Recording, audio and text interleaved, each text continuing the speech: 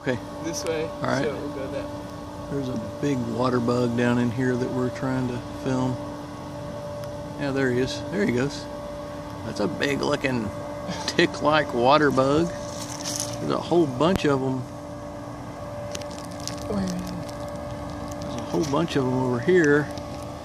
And there's some little blue damselflies, and I think they were mating a few minutes ago. These, they were over here. Yeah, there's little beetles all over the place, swimming around. Yeah, they love this.